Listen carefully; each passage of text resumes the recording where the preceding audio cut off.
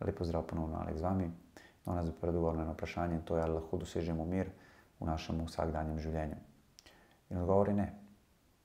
Miru v življenju ne boste dosegli, ker v bistvu mir ste že sami po sebi.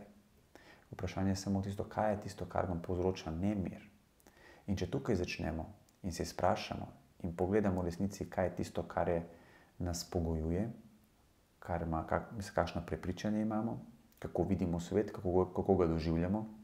In če vse to vzamemo pod drobno gled, enostavno lahko vidimo, kje smo bili v resnici ujeti. Nekatere stvari so naše, smo jih sami na nek način skrbeli, v bistvu življenje nam jih je dalo tako, tako kot jih je napisalo za nas.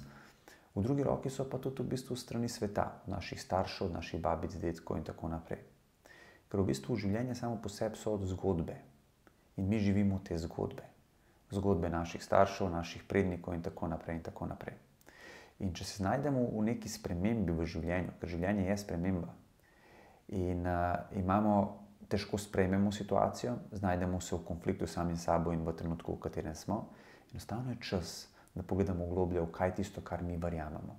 Mogoče niti zavestno ne vemo, kaj verjamemo. Tako sem povedal, če je to od naših staršev, od naših prednikov, enostavno nam ni na, do, nam ni na dosegu naše v našem zavedanju. Tako da je potrebno pogledati malo globlje. Ker vsakeč, ko se sprašujemo in pridemo do dna, enostavno vidimo, da mir smo že sami po sebi in da ničesar ne moremo doseči, ker ni izven nas samih. Lahko samo vidimo, kaj nas odmika od tega. In to je zelo dobra novica. Dobra novica za svet, dobra novica za vas same.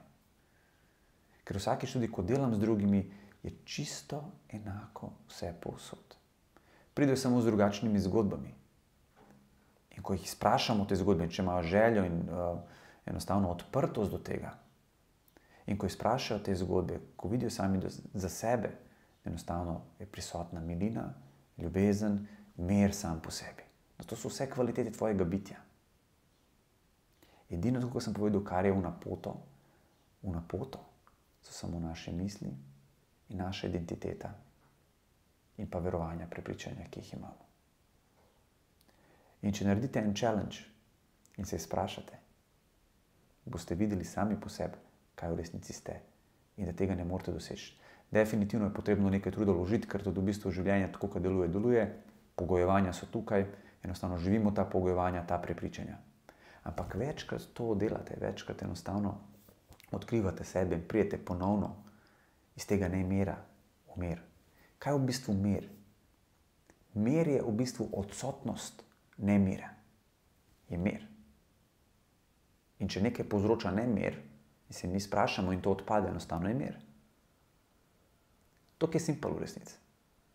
Ampak da bi to dojeli, v bistvu doživeli, ja, je potrebno vložiti nekaj truda na začetku. Nekaj truda, mislim, v bistvu volje in želje za tem, da bi odkrili v resnici, kaj je vedno tukaj. To, kar sem povedal, to če počnemo znova in znova in znova, rata neko novo pogojevanje za nas, kar pomeni, da v bistvu potem prevesi ena situacija in v bistvu dajemo, da ta mir nikoli ni odšel in je vedno tukaj. Tudi med tem, kar se znajdete potem kasneje v določenih situacijah, katere so neprimerne, nemirne ali pa rečemo boleče za vas, boste vedeli, da ta mir v zadju je vedno tukaj, kar ne bo povzročal umskega trpljenja na psihološki ravni. In to je zelo pomembno. Ne gre se, da mi jo ne odmaknemo, da bomo življenje spremenili. Gre se, da vidimo, kaj, kako mi doživljamo življenje takšno, kot je. In ko to izprašamo, ko to vidimo, enostavno je več miru za nas same. Življenje ne moramo spremeniti. Ampak življenje, takšno kot je, nam prinaša tisto, kar je esencialnega za nas same, da lahko pogledamo globlje, v kaj verjamemo, v kaj mislimo, da je res in kar smo prepričani, da je res. In ko to izprašamo, enostavno potem vidimo, da, v resnici nič ni res v to, kar mislim in to, kar verjamem. Edino, kar je res, kar vem, da sem, da obstajam, tega ne morem zanikati. In da, in da sam po sebi, enostavno zelo globoko vem, da je tudi to možno za vsakega. In da žal miru ne moremo doseči.